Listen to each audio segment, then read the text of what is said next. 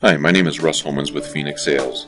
Today I'd like to take a few minutes and share some key features and how-tos for using FlexiSoft software.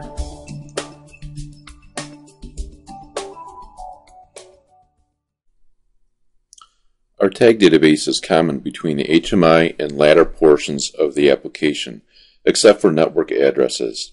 Network registers are not available in the ladder portion of the application. However, they can be moved to local registers for use in ladder. Today I'd like to show you how to add tags and what different tag types are used. Sometimes I'll use the word tags and other times I'll use registers. Tags and registers, they're the same thing. So let's take a look at our register types and how to add them to the tag database. So we're going to right click in the tag database. That will allow us to add a new tag.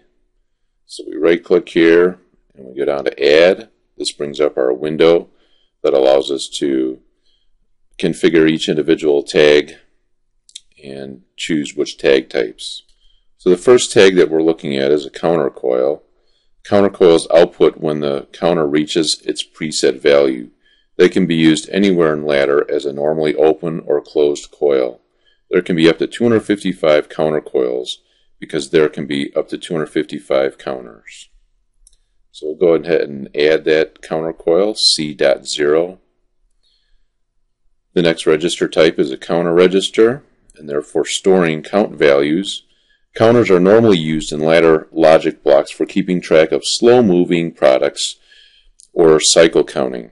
Counter registers are 2 byte tags, so their maximum count value is 65,535. There can be up to 255 counters total per FlexiSoft application. So we're adding here the counter register 0. Click Add.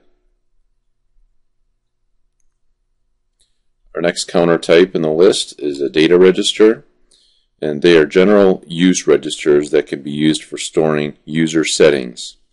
These register registers can be broken down into individual bits of a data register, including or indicating on-off status. So here we're going to declare a, a register D15, and we're looking at bit 5 of D15.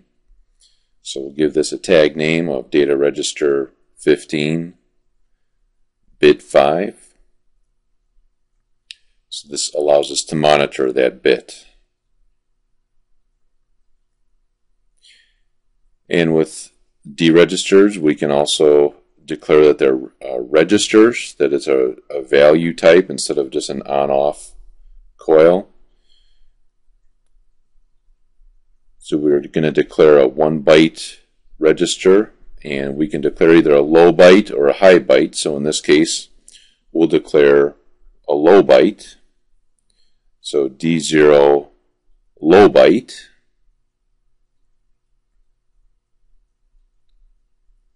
And then we'll go ahead and add a D0 high byte. So that allows us to just break down that D0 register as much as we need to. We can do bits, we can do bytes, and next we'll see how we can do a word. So we can do two bytes, which is a word. So we'll declare here a D4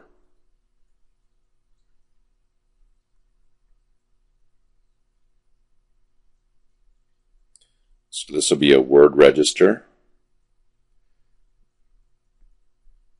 And then we can also declare a double word register.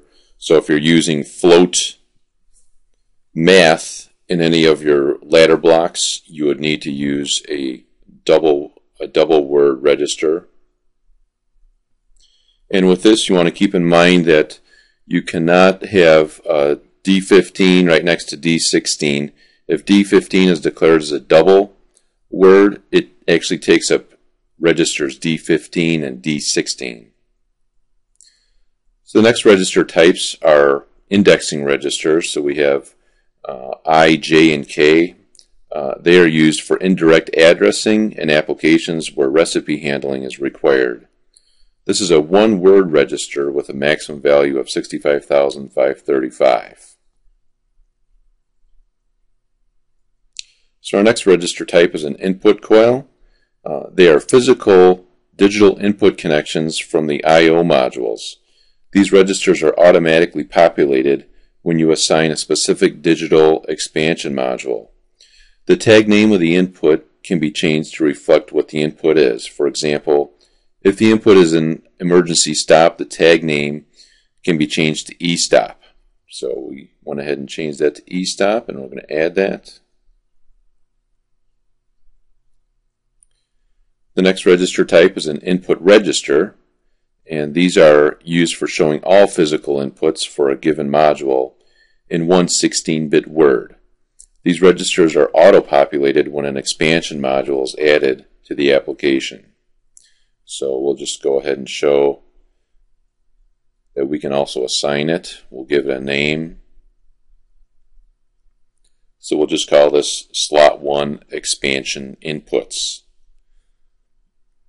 So again, these are assigned when you declare the expansion module. These are automatically added.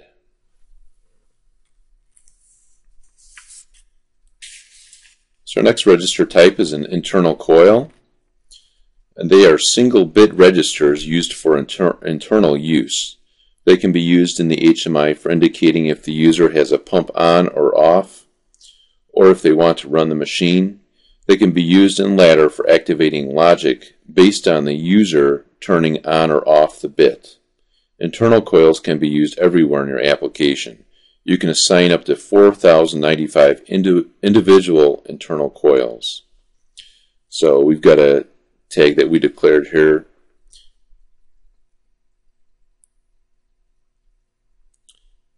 The next register type we want to look at is internal registers and internal registers are word registers that indicate the state of 16 internal coils.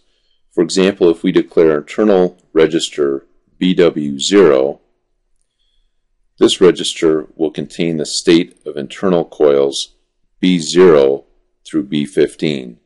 If we declared BW1, B16 through B31 will be represented. This pattern continues up to BW255, which represents the last B registers which could be added. So now we'll look at the I.O. configuration coils. They're used for con configuring expansion modules. These registers are auto-added when a specific expansion module is added to the project. The expansion module instruction sheet should be used to understand the functions, uh, and enabling and disabling the functions. Same thing for the configuration registers. We can look at output coils. These are the physical digital output connections from the I.O. modules. These registers are automatically populated when you assign a specific digital expansion module. The tag name of the output can be changed to reflect what the output is connected to. Same thing for the output registers are used for showing all physical outputs to a given module in one 16-bit word.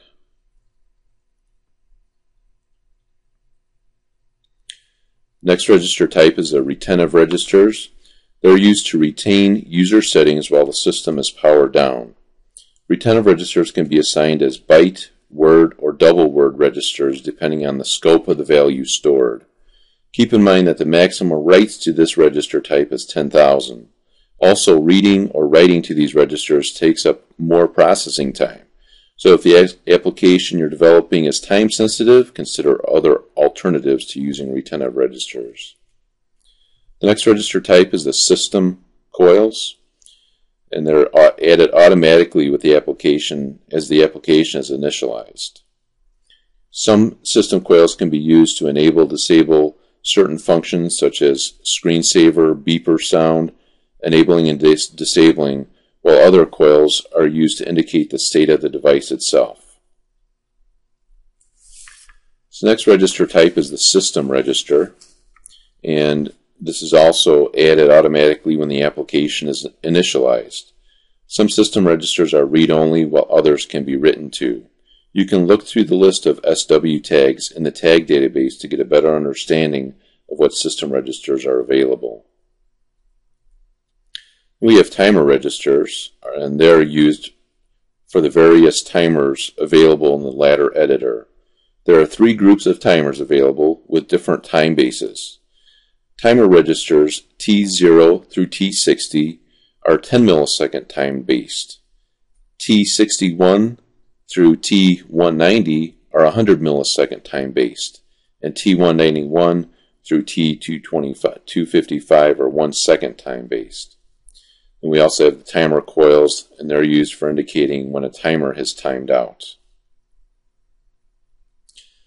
So I'd also like to show you uh, in the data registers and, and on others of the register types, you can actually do an auto declare where you declare one register and then you can give it a name.